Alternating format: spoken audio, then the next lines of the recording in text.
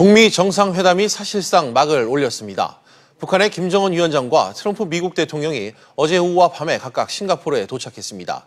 세계의 이목이 집중돼 있는 싱가포르 현지에 SBS CNBC 특별 취재팀 연결합니다. 이대중 기자 전해주시죠.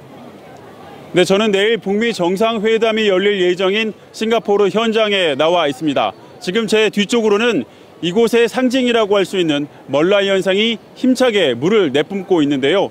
이곳의 인구는 570만 명 정도입니다.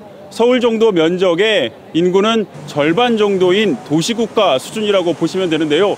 아시겠지만 지금 이 싱가포르에 전 세계 이목이 집중되어 있습니다.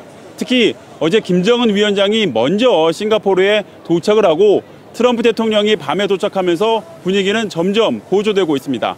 뭐 아시겠지만 세계 각국에서도 기자들이 많이 몰려들었는데요. 공항과 도로 주변 등에는 지난주부터 삼엄한 경비가 유지되고 있습니다.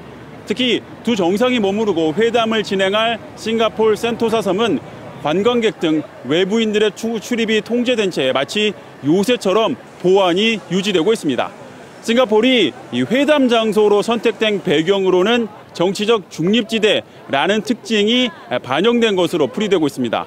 싱가포르는 지난 1975년 북한과 수교를 맺어서 지난해 대북 제재가 본격적으로 심해지기 전까지만 하더라도 북한의 주요 교역국 중 하나였습니다. 또 미국과도 각별한 사이를 유지하고 있습니다. 미 전투함의 연안 주둔을 허용하고 있고요. 여러분들이 잘 아시고 계시는 구글이나 페이스북 같은 유명 미국 기업들의 아시아 본부도 이곳에 위치해 있습니다.